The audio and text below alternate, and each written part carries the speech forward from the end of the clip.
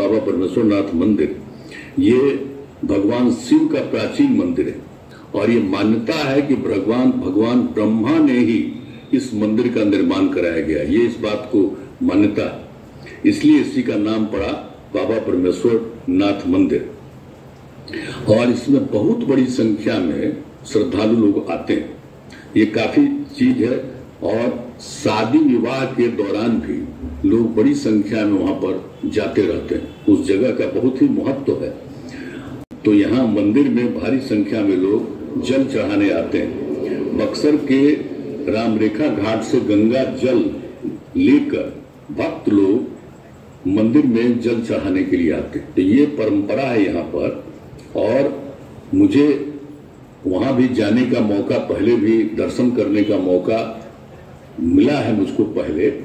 हम कई बार गए हुए हैं वहाँ पर और वहीं पर जाने के बाद एक एक चीज़ को देखा है हमने और उसी से वर्षों पहले की बात मैं कह रहा तो इसी के लिए सब चीज़ों के बारे में जानकारी मिली और उसके बाद जो हम लोग देख ही रहे थे तो जो सबसे बड़ी चीज़ है कि सबसे पहले हमको तो वहाँ जाने का तो सौभाग्य मिला ही है, लेकिन जो सबसे बड़ी बात है कि सबसे पहले भाई सरजू राय जी हमारे पुराने मित्र हैं, हम लोगों का संबंध आज का नहीं है। हम लोगों का संबंध बहुत पौराणिक है।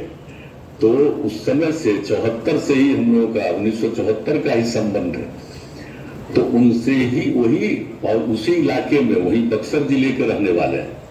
तो उन्होंने ही इस बात की चर्चा की थी कि भाई इतना ये महत्वपूर्ण मंदिर है तो इसके लिए कुछ काम करना चाहिए। हमने कहा बहुत अच्छी बात है। और उसके बाद एक दिन उनके साथ फिर आ गए। आदरणीय जज साहब भी आ गए, जो बक्सर ज़िले के रहने वाले हैं। और उनका घर तो मंदिर के पास ही है। तो ये दोनों भी एक बार और बात की तो हमको ये लगा कि भाई ये तो बहुत बड़ी बात है, इसको होना चाहिए।